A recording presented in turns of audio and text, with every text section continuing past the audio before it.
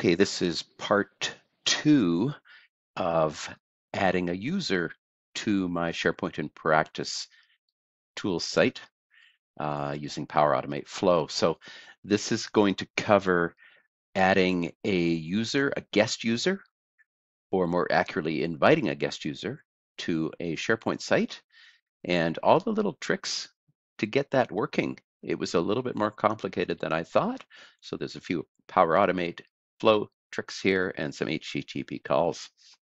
So the uh, where we got last time was we added through a form, we added items to this toolkit guest users list. Uh, and that form is anonymous so that I can send it out to people or include it in my book so people can ask for requests. And then what I want to do is once somebody is added to this list, another flow triggers and sends me a, an, an approval saying, hey, is it okay to add this user? And uh, when I say yes, of course, I'll always say yes.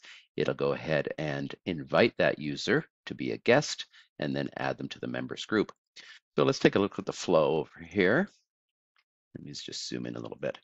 So this is the flow. So when an item is created or modified is the trigger. So this is what starts the flow, of course. And you have to put the address. And here is the list that is triggered. Now, this is created or modified. It's simpler to just do a when item is created trigger because I don't have to worry about modifications.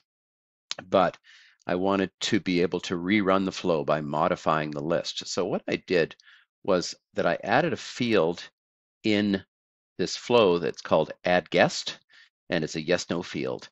So the flow will only run if this add guest field is set to yes and then when I update this record to say successfully added, I set the add guest to no, and that stops it from re-triggering what they call an infinite loop.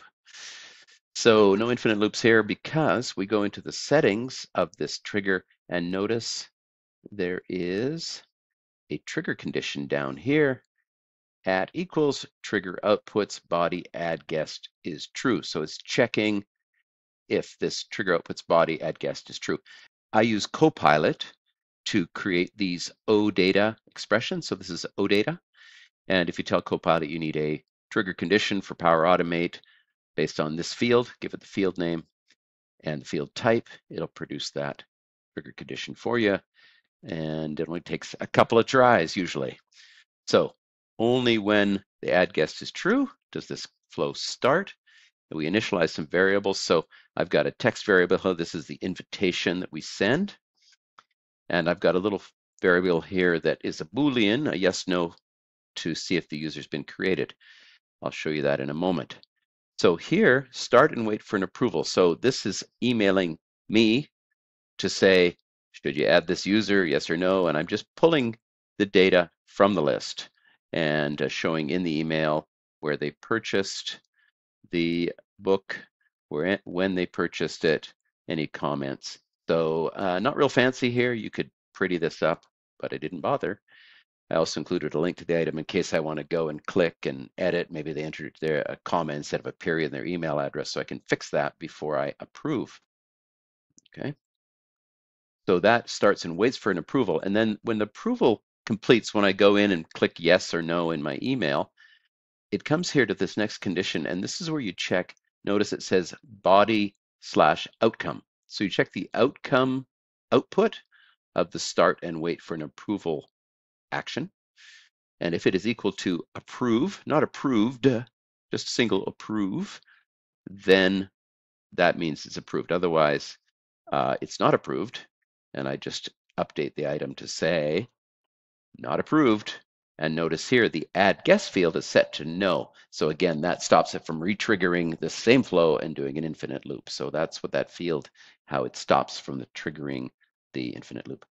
Ah, infinite loops just last too long, don't they? So if it's accepted, then let's go ahead and invite that user. So first I re-get, I get the item again in case it's been modified above. I, I have all this data already from the toolkit guest users, but um, I'm just grabbing it again. And of course, it's the same item. This is the ID item from the trigger body, so the initial call of this flow. And then this is where it starts getting complicated. And this is where I had to learn quite a bit before I did this. This is a premium Power Automate action called HTTP. There are regular HTTP calls, but this is calling the Graph API, and so it needs the premium. So I went and shelled out $22 a month to purchase this. Actually, I started with a free trial. Uh, there's a couple of steps in here that are about adding the app level permissions for this as well. Um, and I'm not going to get into that right now. Uh, I may do a future one on that, but if you're stuck, let me know, reach out because in addition to this data, so it's this is the invitations endpoint. So I'm inviting a user, post content type that's all necessary to be there. And here's the body. So the invited user email address, this is the email address from the uh, that that list from this toolkit guest users list. This is the title field. I've just renamed it to email address. So watch for that little nuance. In the invite redirect URL, this is where the user gets redirected once they accept the invitation. So I've just redirected, redirected to the website for now. Do we send a message? Yes. And here's the message information. So the message information is from that variable that you saw above. Okay. Now, other than that, we fill in these fields. The, the authentication type is OAuth. This is the tenant ID, audience, and secret value. Um, so we need all of this data to, to run the flow. So that sends an invitation to the user and it looks a lot like this. Let me show you. I'll just download this picture here just so you get the whole image of it. Okay, so this is what they're receiving. And at the bottom, they have an accept invitation link. And that accept invitation link will try to log them into the site, send them a code, etc. So once they have logged in for the first time, then they are authenticated, they're added to the Entra Azure uh, user list. But until they are, we can't do anything with them. We have to wait for them to accept that invitation. So that's this next little tricky bit is we have a do until loop here. So it goes in, it waits five minutes, give them at least five minutes to respond, right? Then it attempts to add using this user's end, endpoint. I'm trying to add them to the members group so they'll be able to contribute in the site. So notice down here, the way this body is, it's just the again, the email address with this uh, claims user ID structure. It ain't pretty, but that's what SharePoint, or in this case, Azure wants. So that's a really straightforward um, HTTP call. And then if they're not created yet after that five minute delay, this will fail.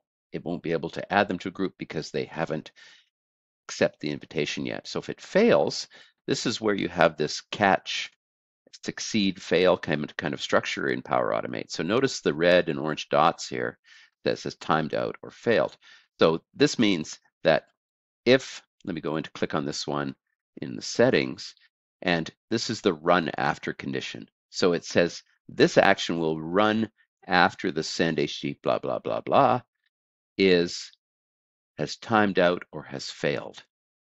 So if this fails, this command is run. But otherwise, it's this one. Notice the settings says the user not created. If it is skipped, we run this command. Okay, so this is the way Power Automate handles those error conditions. So if it fails, then we say user created is false. If it succeeds, we say user created is true. And then the do until, of course, is as long as the variable user created is, it, it, we, we stop the loop when the user created is true, right? So it does until it's true. Okay, so that loops until we're able to add the user into the Microsoft 365 SharePoint group. After that, uh, that successful adding to the group, then we update the item. So I'm, I'm updating the toolkit guest user item to say the date the permissions are granted and a little bit of text down here just so I can track it. And again, the add guest is set to no so that it will not retrigger the flow and create a infinite loop. And then last but not least, I email them. So there's the email address again. You now have access. I give them a link, da da da. So a little bit of text in here using the send an email v2 command. And that's it. The only other step here is if this add fails, we come here and we update the item to fail so that I can say, oh, it didn't work. So add failed. So I'll be able to see that in the list. Okay, that's about all there is to it. I hope that's useful for you. Please reach out. We have any questions or you have a similar use case you need to code. I'm happy to help. Alrighty, talk to you again soon.